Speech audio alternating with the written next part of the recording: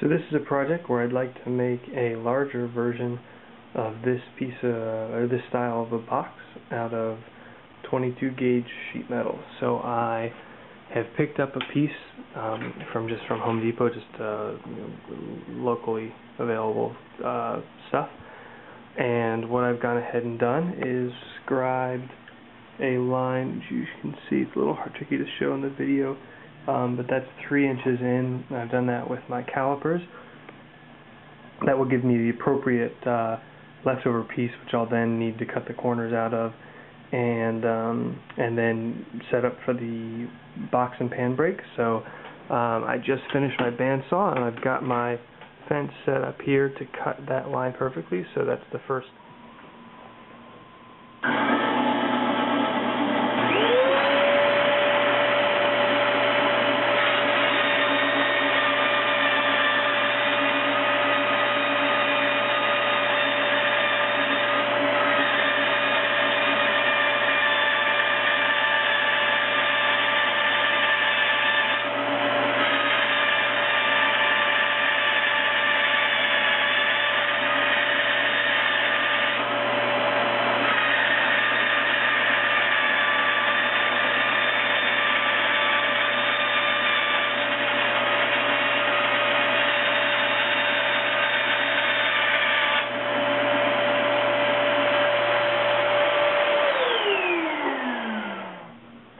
the box uh, proportion um, here seen in the miniature is going to be 6 inches across and then these sides will come out 3 inches.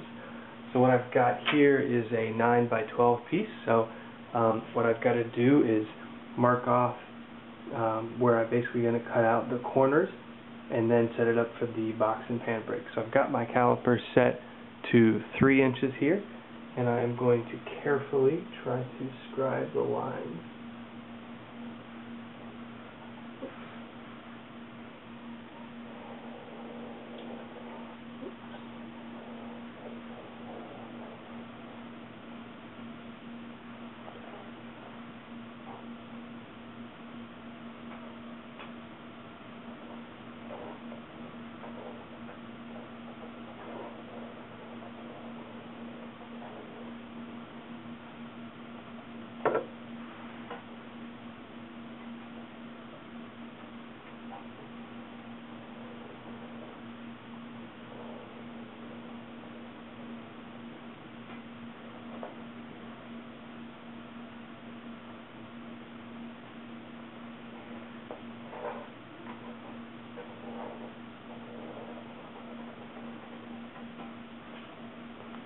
So if you can see, I've now got the lines scribed, and obviously I'm going to cut out the four corners here, which will then leave me with my base shape to bend.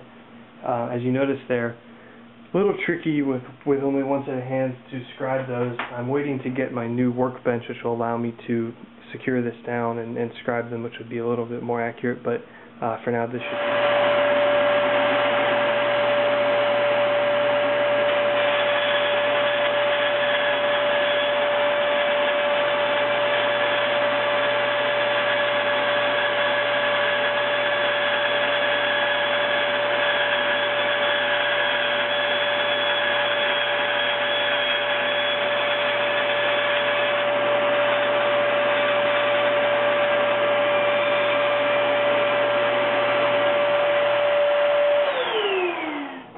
Okay, so I've got half of the corner parts cut.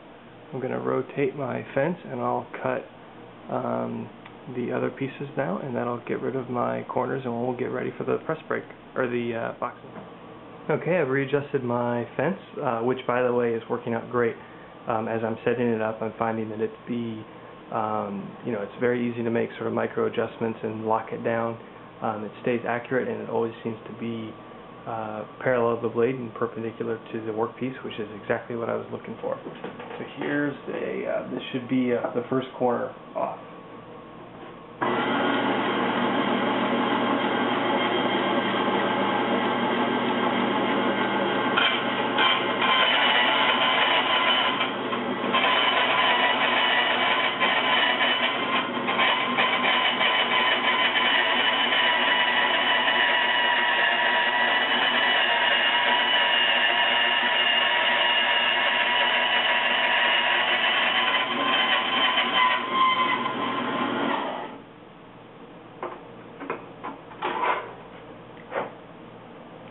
Go. Uh, very clean cut. Um, you know, I've been considering purchasing a notcher, uh, which would do this in a more accurate and certainly quicker and less noisy fashion, but for now, I'm going to get by with the bandsaw. I'm pretty happy with that. Great, so the four corner pieces are out. Here's my original 9 by 12 piece, and four corners are cut. Uh, so now what I'm going to do is carefully take, uh, make bends on my box and pan brake along those four edges, and we'll see what we. You'll notice the finger is not parallel with the brake bar, so what I'm going to do is move this piece here and if you look now it is quite close to even. That's an important adjustment. Um, I don't think they, they set this when it comes to the factory and you want to make sure that Alright, I'm all lined up. I've got my piece locked down, so we're going to go ahead and bend it.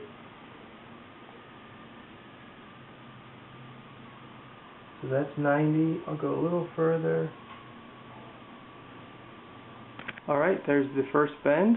Uh, looks good. Pretty perpendicular, 90 degrees, so we'll move on to the second bend.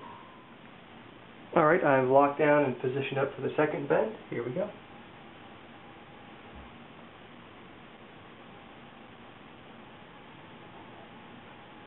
Alright, here we are after the two bends, looking pretty good. I'm going to change my fingers and we'll make the last two bends.